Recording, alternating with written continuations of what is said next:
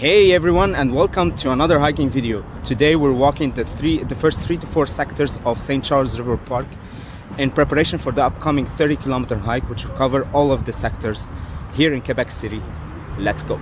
The park runs along Quebec City by creating a footpath from the old port to St. Charles Lake. This section covers the majority of downtown Quebec.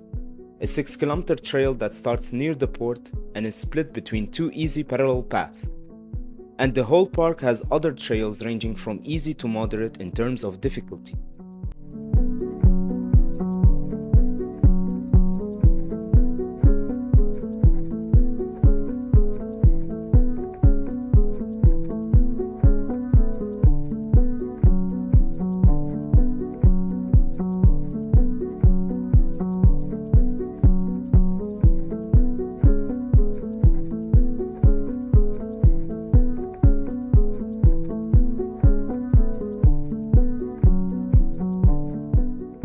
So essentially there are two sides we can walk on at the beginning, connected via small bridges. And there's the southern side and the northern side. So at first we began from the northern side, then we passed to the other one, we continued, and then we got blocked by enormous route of mud and just water all over and I think it's one of those sections that that are not well taken care of. So uh, for the for the long hike, I think we're going for the uh, northern side of the of the trail.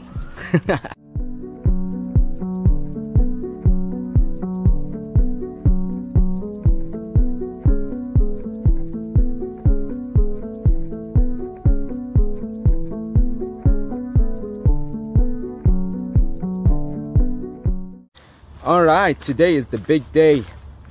So unfortunately i wasn't able to start at the very beginning of the trail but i was lucky enough to start at the 6.5 so let's hope i can make it all the way to 30 and uh, if i don't then that's okay.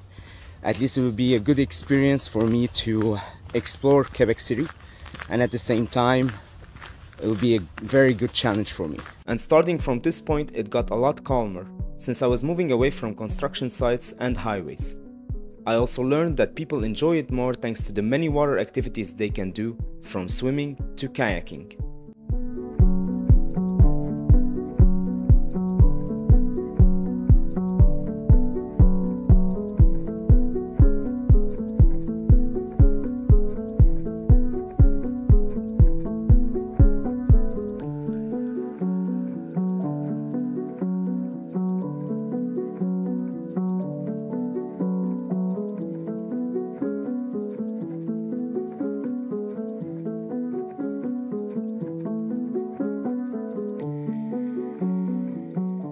I'd say the two main difficulties of this trail is one, the long distance that should be covered in one day, and two, the heat wave that's coming in this afternoon. So uh, let's hope for the best. I'm also meeting up with some of my friends along the way, so this should get a lot more fun. The plan was for them to walk with me 10 kilometers before I continue, and this gave me the chance to take a break and slow down a bit.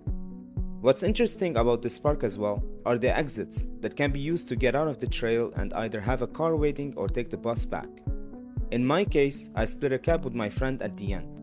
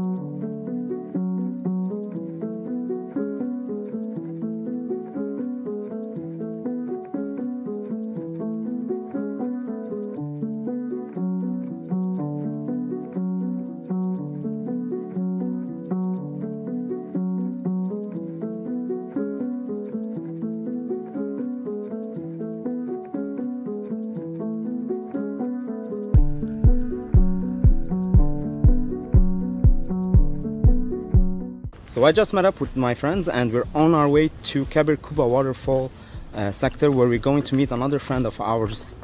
We're going strong. It's uh, it's getting hotter and hotter by the second, but we're also protected uh, inside the forest, so that's a good thing.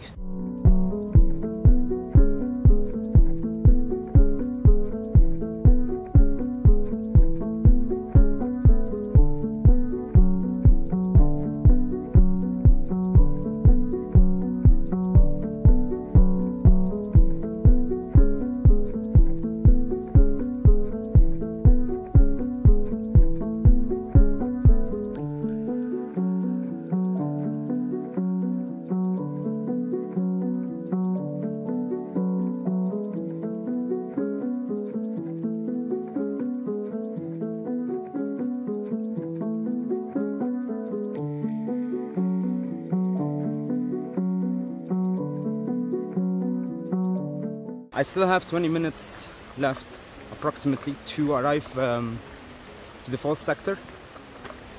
I'm getting a bit tired, but it's worth it though.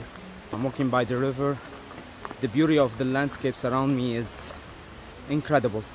Luckily, I brought only my 5 liter backpack which had all the essentials needed and allowed me to hike lightweight.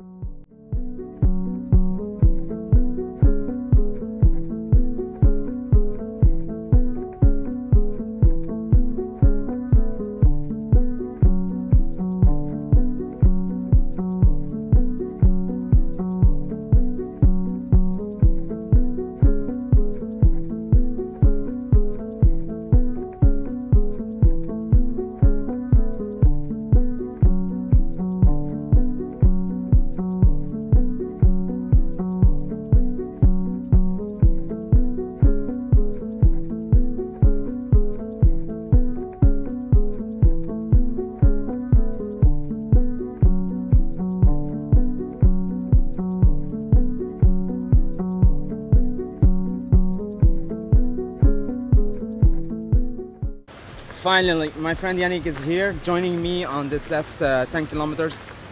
Uh, we're heading all the way. That's our goal and we're going to finish it. So uh, we're keeping it strong.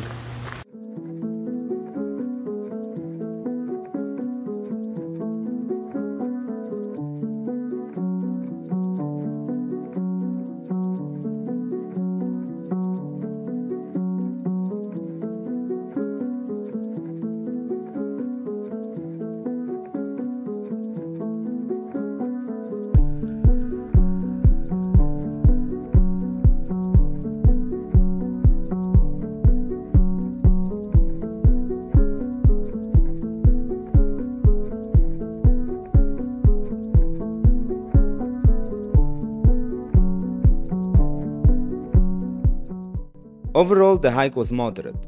The long distance made up for the lack of mountain altitude. A 26 kilometer hike that took 8.5 hours to complete gave me the confidence I need to take on bigger challenges in the future. So behind me is the end of the trail.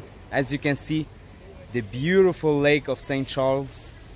And over here is my good friend Yannick it's been a beautiful experience. Thank you guys for joining me. Over here is the kilometer number 32 there. I'm going there to sign my name and that's a wrap.